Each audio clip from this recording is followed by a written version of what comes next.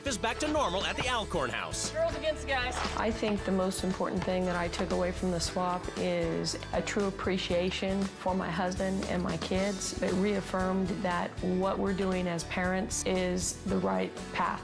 I really didn't learn anything from the swap except for I really like how we live our life. I wouldn't change it at all.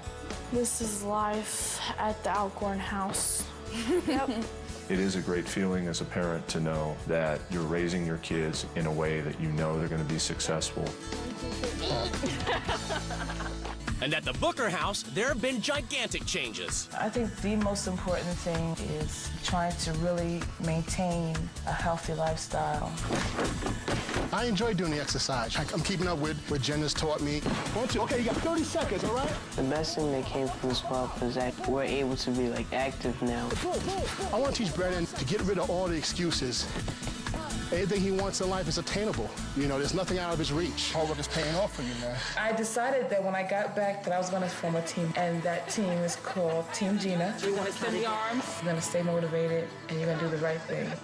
My family learned to appreciate me as well. We're helping her out more, especially like cleaning up the house, because that makes my mom happy also.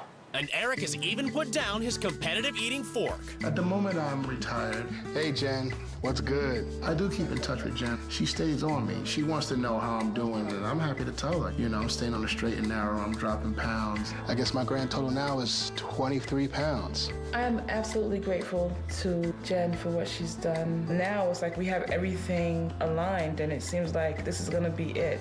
This is gonna be something that we're gonna be able to do for the long haul.